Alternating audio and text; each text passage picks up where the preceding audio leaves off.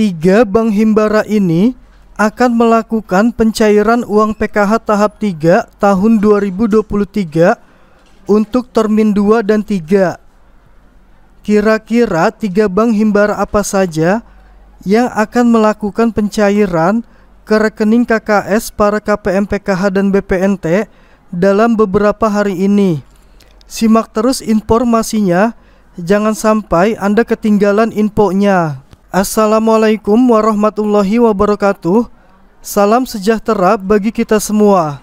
Pada kesempatan hari ini kita kembali akan menyimak ada informasi terbaru bagi Anda KPM PKH dan BPNT pada bulan Juli di tahun 2023 ini. Ada kabar terbaru terkait pencairan bantuan PKH tahap ketiga dan BPNT untuk hari ini yang harus diketahui oleh semua KPM.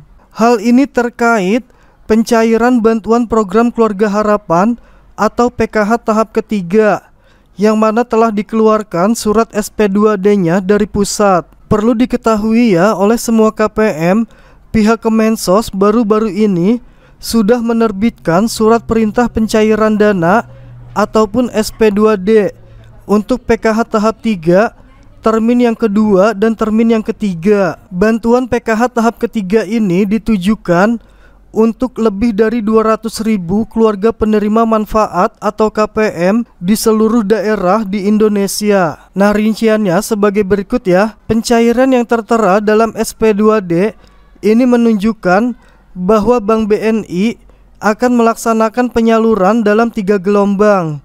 Nah begitu pula dengan Bank BRI serta Bank Mandiri ini akan segera mencairkan uang bantuan PKH tahap ketiganya. Nah, selanjutnya untuk PT Pos Indonesia ini akan menyalurkan bantuan PKH tahap 3 dalam gelombang 7, 8 dan 9. Namun perlu diketahui oleh semua KPM berdasarkan data dari Kemensos, pencairan bantuan baru dilakukan ini untuk wilayah Sumatera Selatan. Nah, menurut informasi yang ada, kabupaten ataupun kota di sekitar Palembang ini akan menjadi daerah yang sudah menerima pencairan PKH tahap ketiga termin yang kedua. Nah, dalam SP2D tersebut ini masih didominasi untuk daerah-daerah Sumatera Selatan. Nah, kemudian pihak Kemensos ini juga meminta kesabaran kepada seluruh KPM ya untuk menunggu pendistribusian bantuan PKH tahap ketiga ke daerah masing-masing. Dan jika ada perkembangan terbaru nanti akan segera disampaikan melalui saluran komunikasi resmi dari Kemensos. Saya menghimbau bagi para KPM di daerah lain ini tetap bersabar sambil menunggu pencairan bantuan PKH tahap ketiga. Dan pihak Kemensos juga berjanji akan memberikan kabar terbaru segera setelah ada perkembangan penyaluran di wilayah ini. Bagi sobat media PKH dan BPNT yang belum subscribe, silahkan tekan tombol subscribe-nya ya dan like-nya jika dirasa bermanfaat. Nah demikianlah informasi di kesempatan kali ini. Mudah-mudahan informasi ini dapat bermanfaat bagi kita semua.